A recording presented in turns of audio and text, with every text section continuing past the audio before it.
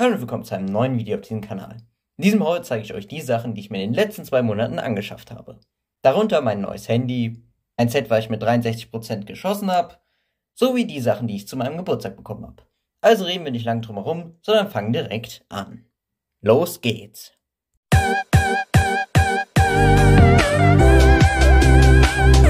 Das Set, was ich mit 63% geschossen habe, zeige ich euch am Ende des Videos.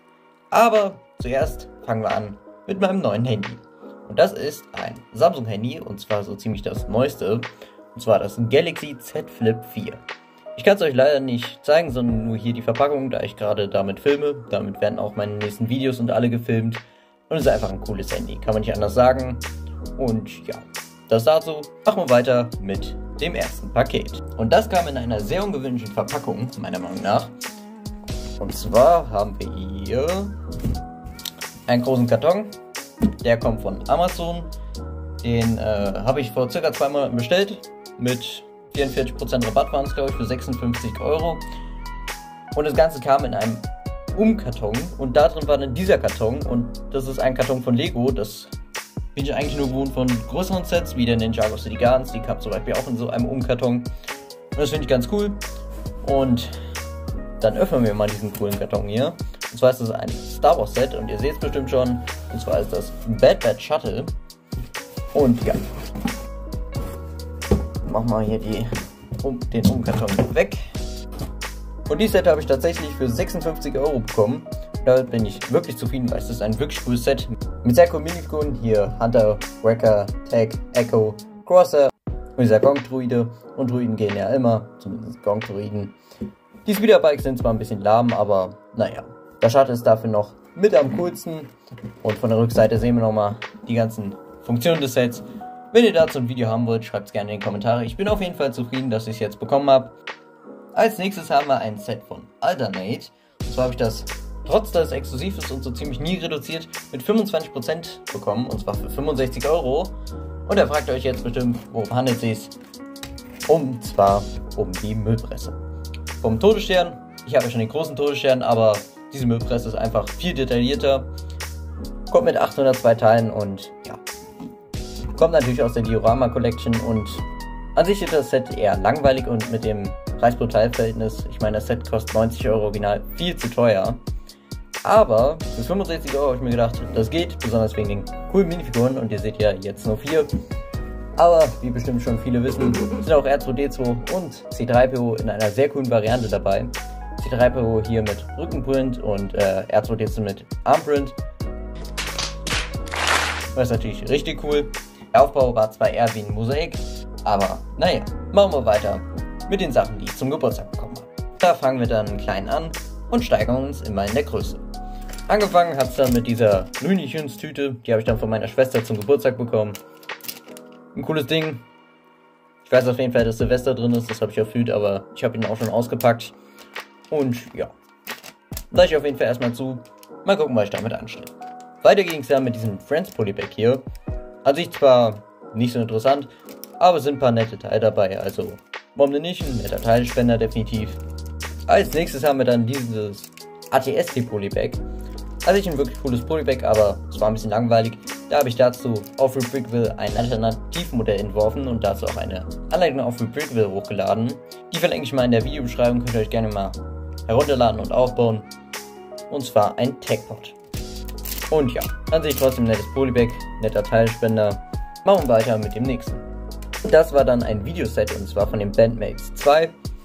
Und ja, an sich ein netter Karton, aber der Inhalt ist natürlich wichtiger. Und da gab es dann diese Vampir-Gitarrenspielerin mit diesen drei Plaketten. Ich weiß gar nicht mehr, wie die heißen. Aber egal. Und ja, an sich eine nette Figur, aber jetzt auch nichts Besonderes. Wir steigern uns mit diesem Star Wars Set hier, und zwar der Last Family Homestead Kitchen. Das war ja das GWP am May the Force. Und ja, das habe ich auch zum Geburtstag bekommen, ist ja Büro mit dabei. Eine sehr coole Minifigur, die ist aktuell auch so ca. 30 Euro auf Brickling wert. Und ja, an sich wirklich ein sehr cooles GWP. Ich freue mich, dass ich es jetzt in der Sammlung habe und ja, an sich wirklich ein nettes Set. Und ja, weiter geht's. Mit dem Dark Trooper Attack. Ein wirklich sehr schönes Set, kann man nichts anderes gegen sagen.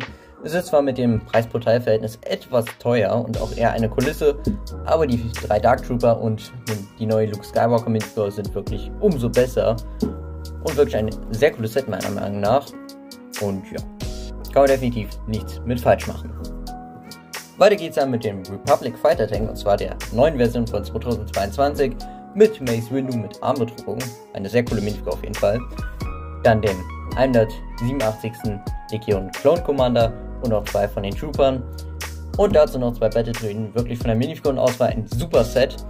Und der Tank, ja, ist ein bisschen stickerlastig, aber es geht. Also an sich wirklich ein cooles Set. Leider bei Lego exklusiv. Und glaube ich auch noch bei Smith Toys kann man bekommen. Oder Smith Toys? Ich glaube Smith Toys. Und ja, an sich wirklich ein cooles Set. Kann man auch hier nichts falsch machen. Und ich freue mich auch, dass dieses Set jetzt in meiner Sammlung Einzug gefunden hat. Weiter geht's. Mit dem N1 Starfighter von Mando aus The Book of Boba Fett. Eine, ja, sagen wir mal, ganz nette Serie. Aber die Episode mit Mando war natürlich wieder am besten. Wie soll es auch anders sein? Er kommt hier natürlich mit einem Darksaber und auch Armbedruckung. Besonders ist bei ihm, dass er eine Gesichtsbedruckung hat. Das ist hier, glaube ich, exklusiv. Vielleicht ist es jetzt noch in der neuen USS Razor Quest drin, das weiß ich noch nicht. Dann haben wir noch Grogu, Pelimotto und BD. Ist nicht BD1, dazu müsst ihr euch den großen holen. Aber hier ist immerhin eine andere BD1-Einheit mit einer neuen Bedruckung drin. Und das Set ist an sich etwas zu teuer mit 60 Euro, aber wie gesagt, wirklich ein nettes Set. Und ja, wirklich ein nettes Raumschiff. Kann man nichts anderes sagen.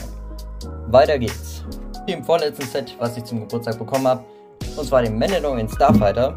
Ein wirklich sehr cooles Raumschiff mit auch wirklich sehr coolen Minifiguren.